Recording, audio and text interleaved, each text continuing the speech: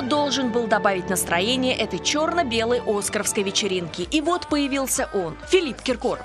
А у кого-то были сомнения, что мы можем здесь не быть?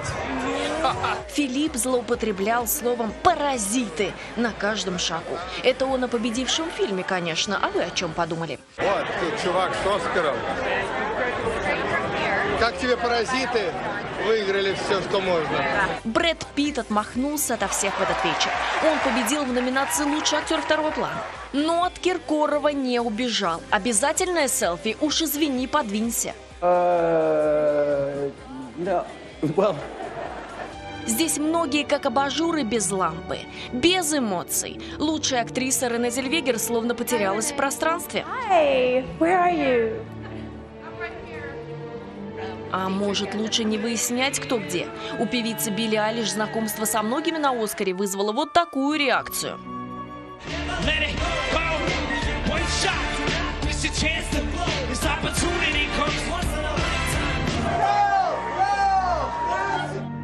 Гости медленные, как гусеницы, но очень прожорливые. Сальми Хайек и подругу важно накормить, чтобы одной не поправляться.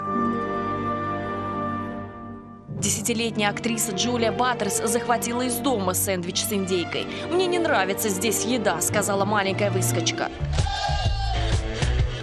Джокер, как мы знаем, любит лестницы.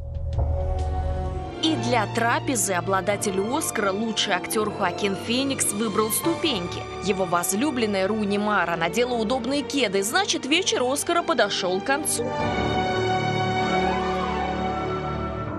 Покинул премию последним? Кто же самый стойкий? Вы еще не догадались? Ну вот и закончился праздник.